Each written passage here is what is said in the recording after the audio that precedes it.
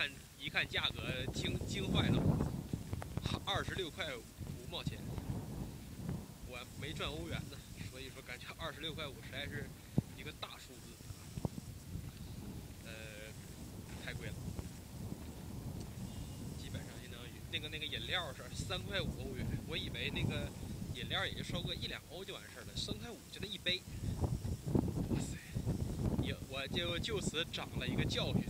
以后绝不在餐馆点任何饮料，啊，这就是我从今立下的一个誓言。当然，别人请客的话例外。然后那个饮料价格，除非我事先知道特别便宜，这个例外。在我不知道的情况下，在欧洲餐馆绝不点饮料，太你妈的贵了。我作为一个穷屌丝，我他妈不行啊！我比尔盖茨的话，我觉得那就无所谓了，就是拿一张银行卡随便刷。现在我准备去火车站一趟，看一看去布鲁日的那个车票是怎么样。这景色还是不错，但是教堂我看现在一看呢是个新教堂，不是以前的老教堂，这是个新教堂。这面可能是个路口，啊，这边。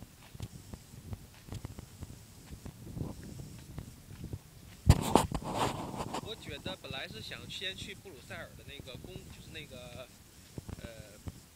州的会议中心那边先去看一下，但是现在呢怕来不及啊，因为现在这个时间呢，我现在不太确定，去这个布鲁日到点到底是几点钟，呃有车，几点钟没有车，所以还是先去这个车站去 check 一下。